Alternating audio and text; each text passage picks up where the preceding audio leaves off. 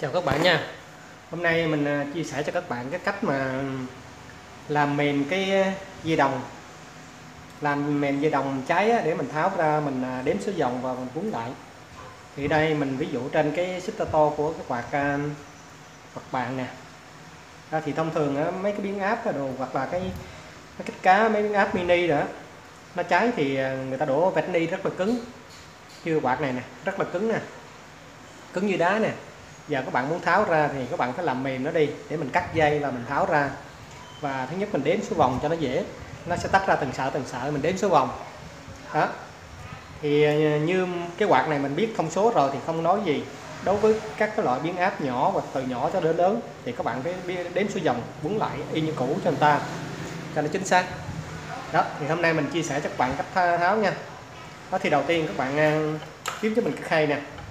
Đặt đây và bạn uh, chuẩn bị cho mình cái dung dịch. Cái này gọi là à, xăng thơm. Xăng thơm hay còn gọi là xăng uh, à, nhật á. Đó. thì cái xăng thơm này nó có mùi thơm giống như dầu chuối vậy đó. Đó thì cái xăng thơm này để người ta dùng để tẩy rửa các chất bẩn trong công nghiệp á. Thì các bạn dùng cái bình các bạn xịt lên dây đồng này. Nếu các bạn có nhiều thì các bạn ngâm luôn cái xích to này vô luôn còn à, các bạn à, mà có ít á, thì các bạn à, à đổ từ từ trên cái cái dây đồng này cho nó thấm vô. Khi mà nó thấm vô cái dây đồng thì nó sẽ là nhả cái vết ni cách điện ra. Thì thông thường khi mà người ta quấn cái một cái loại động cơ nào á thì người ta sẽ đổ vết ni cách điện để cho nó cách điện cho nó tốt. Nó làm cứng cái lỗi của mình đây. Đó, nên khi mà có sự cố mà cháy thì các bạn lỡ đổ xăng thơm vô mình à, để mình dễ tháo ra và dễ đếm số vòng lại.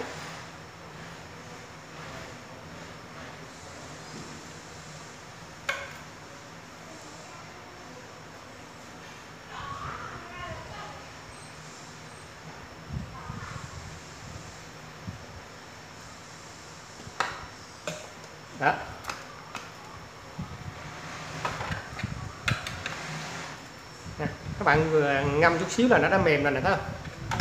Hồi nãy nó cứng như đá luôn bây giờ mình nó mềm này nè.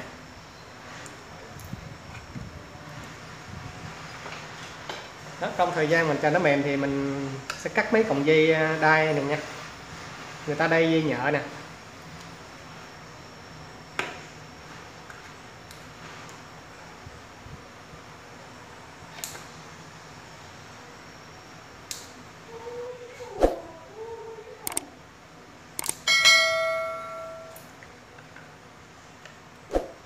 Thì à, cái xích to này mình tháo ra mà mình quấn lại luôn nha.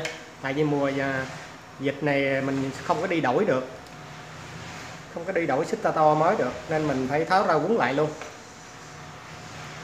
Mình làm khuôn mình quấn lại luôn.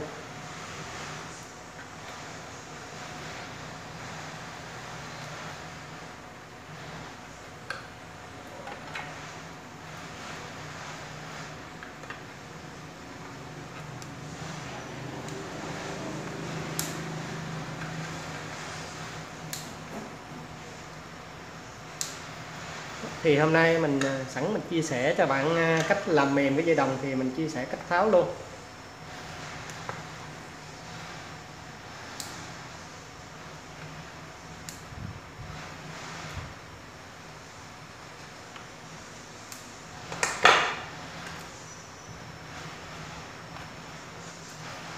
Thì à, mấy mấy bạn trong nghề thì mà biết rồi còn như, như các bạn thì lâu lâu mới gặp á và chưa có có biết cách tháo thì ờ, hôm nay mình chia sẻ cho các bạn tham khảo luôn nha. Nè khi mình ngâm nó thấm vô rồi nó mềm như cái này là các bạn đốt cháy luôn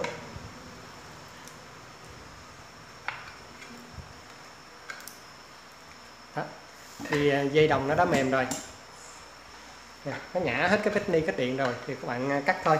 Các bạn tháo trước tiên là các bạn tháo cuộn đề ở trong trước. Ở trong là bốn cuộn nè bốn cái bối này nè là, là cùng đề và cùng số người ta sẽ cuốn chung trong này nè bạn tháo ra trước nếu các bạn muốn đếm số vòng thì các bạn tháo ở trong từ trong ra ngoài nha Đó. Đó.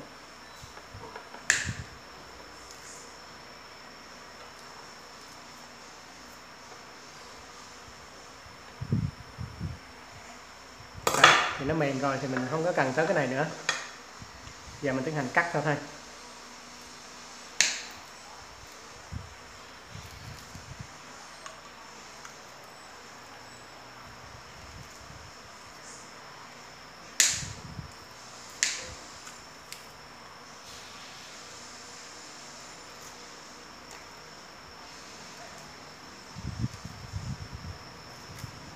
đó.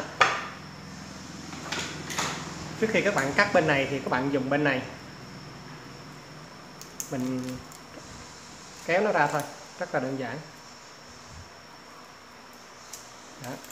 rồi đây, thì à, trong này các bạn à, muốn đếm số vòng lại và đo cả dây thì mình dùng một bối này, mình đếm. Thì trong này nó có cuộn đề và cuộn số nó cũng chung trong này thôi.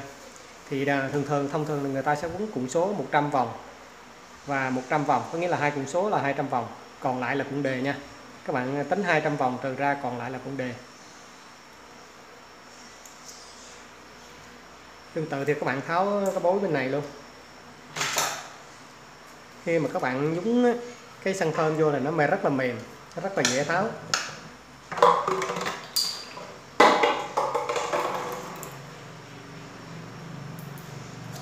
Đó nếu nó các bạn nào mà kỹ thì đếm lại hai lần.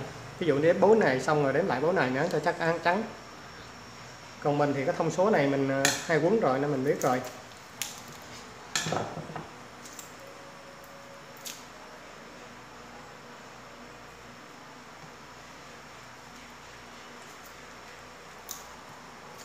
Đó xong.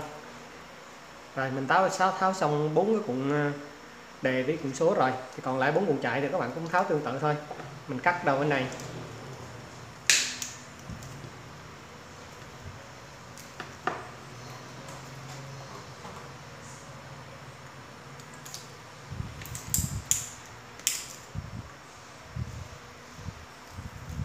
Có nhiều bạn ờ, chưa có biết. Nó cứng quá, các bạn làm biến tháo nên làm biến quấn.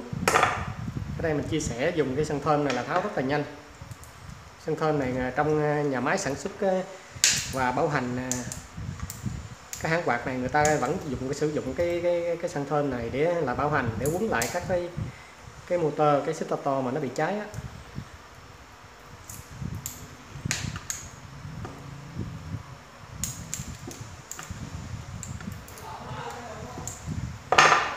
Đó. Đây, các bạn chỉ cần rút nhẹ là ra là xong thôi đó.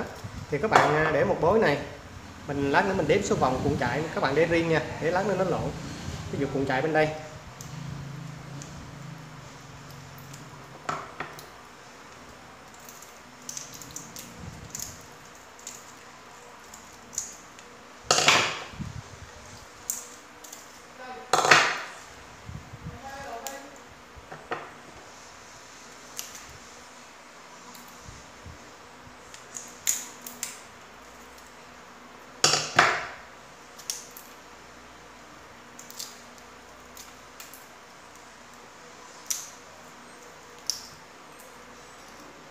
Rồi, mình đã tháo xong rồi nè, rất là nhanh.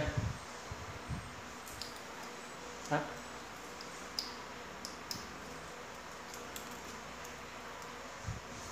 tháo xong rồi các bạn dùng cái to này nè, bỏ vô xăng này các bạn trà rửa, tẩy lại cái to này cho nó mới luôn, rồi bắt đầu tiến hành mình cuốn lại.